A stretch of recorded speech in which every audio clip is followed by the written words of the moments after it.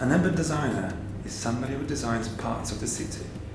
He's not actually involved in the design of a specific building or a specific store or office, but it rather has to deal with the, the bigger scale.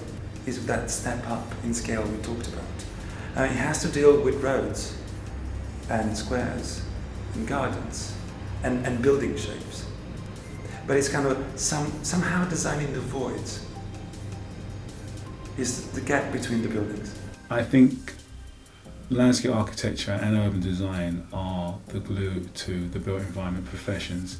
I think we provide a certain level of cohesion to the streetscape, to the landscape, to the public realm, and often a lot of fragmented schemes or poor planning decisions or um, disquiet between how the built form and the landscape comes together can be resolved by uh, landscape architecture and urban design.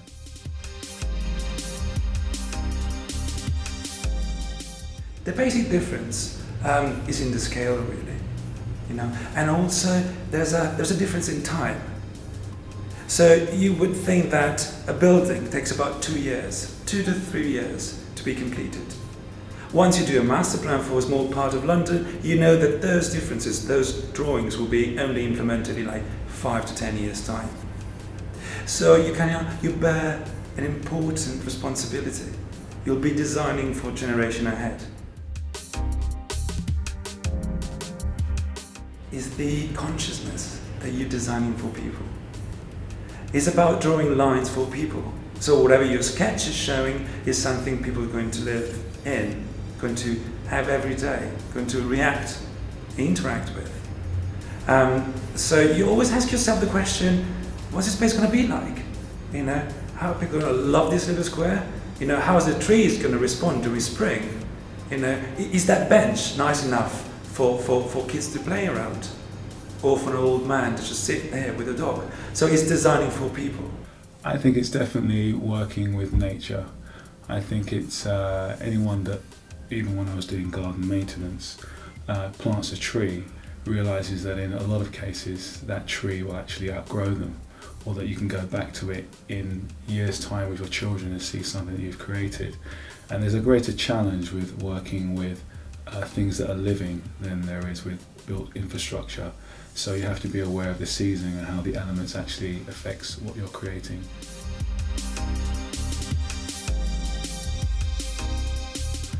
I spend uh, as much of my time indoors keeping warm. Uh, if I am outside, I'm very well wrapped up. But I think even though when I'm inside, I'm always aware of the light.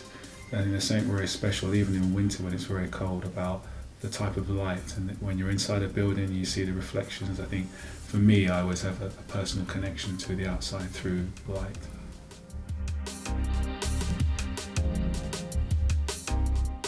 Computer is a very, very powerful tool.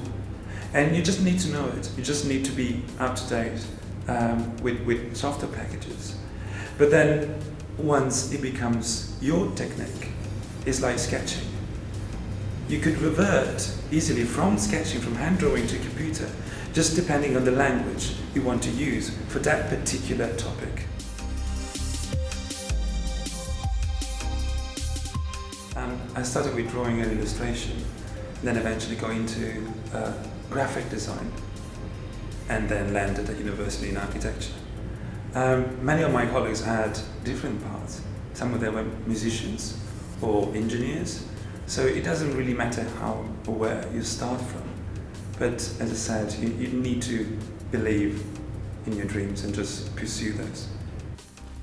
I started in horticulture and then moved through to landscape maintenance and construction and then did a course in garden design and then landscape architecture and from landscape architecture I progressed on to urban design. You have to be good with your imagination. You need to be good in visualizing things before they actually happen. That's the key element, it's your imagination.